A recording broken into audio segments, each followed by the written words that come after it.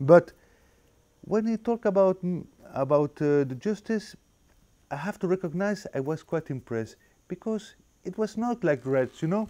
Reds are talking every time ab about proletariat, about uh, struggle of classes, about uh, giving lessons to the rich men, and they, they, they just want to destroy. And, but in his words, I never felt the sensation of will of destroy.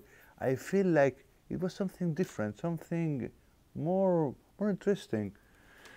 Um, this conversation was quite long. I don't remember well all the issues we, we, we, we talk about. Uh, I know that he, he, he uh, explained me uh, how much it was important to, for him uh, this idea of uh, sharing uh, a humankind between all people. And, you know, I'm not very Christian, but I believe in God and I have my, my own values.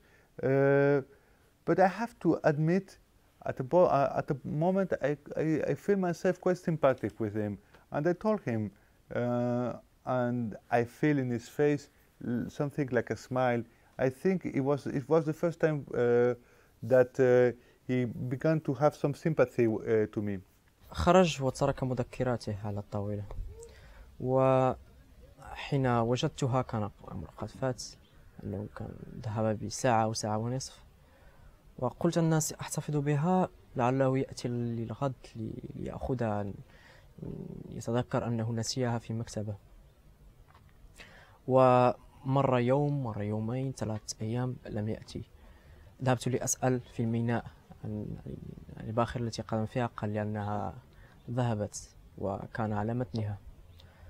قلت بأنه إن تركها هنا فلن يأتي إليها لأخذها مرة أخرى وسمحت لنفسي أن أفتح المذكرات وأقرأها فقد كان شخصا كيف أقول If you really really want to know more about um, about him you have to ask his friend Nawab Jafari he, he's really close to him and I think he basically knows a lot a lot about him But the problem is, uh, I heard he went to, to Iraq a long time ago. So I think the, the only way you, you can get in touch with him is to, to go there and ask. But really, if you find him, it can be uh, precious information to you and give a lot of precious information.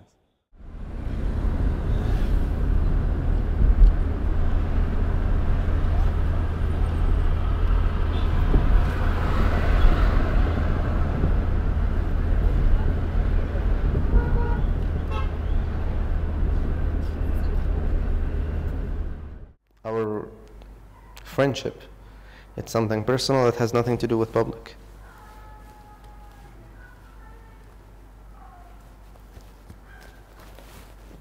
عفوا جلاس مي لو سمحت